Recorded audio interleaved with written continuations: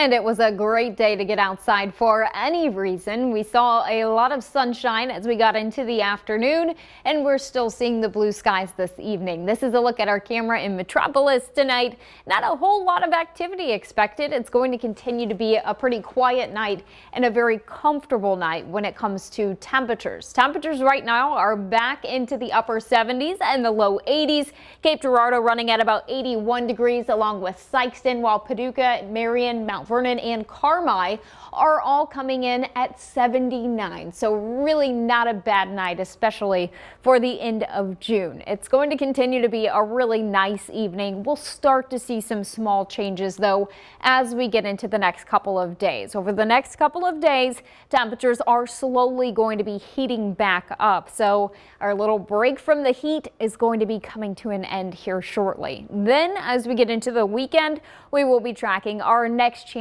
for a few scattered showers and thunderstorms.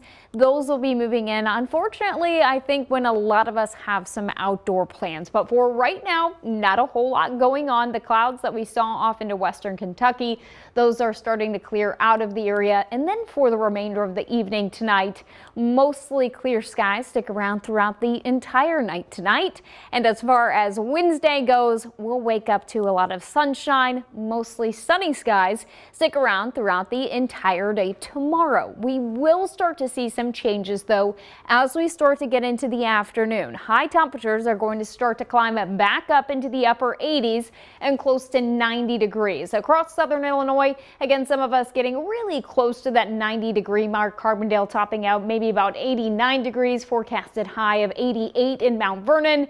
And then when you push a little bit further to the south, some of our southeastern Missouri folks could hit the low 90s. Cape Girardeau maybe 91 degrees. And then folks off into western Kentucky getting close to 90 again. So unfortunately, the heat is going to be coming back. Storm Track 3 app. You're going to want to have that on your smartphone because the rain's going to be coming back as well. Some much needed rainfall. We are going to be seeing the chances for some isolated storms working their way back into the area by Friday. Really spotty, not very widespread, but they start to become more scattered as we get into Saturday and Sunday next week.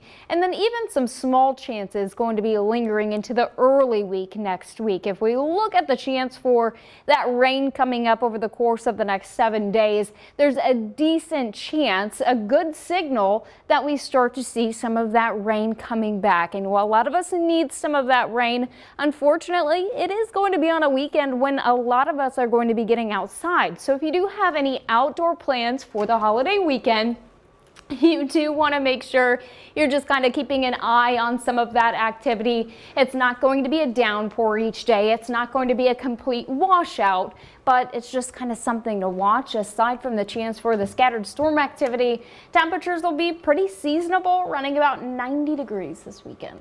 All right. Ooh, so the cool spell is over. It's over, unfortunately. I wish it could stay. I know, it feels so nice. All right, thank you, JC. And you know,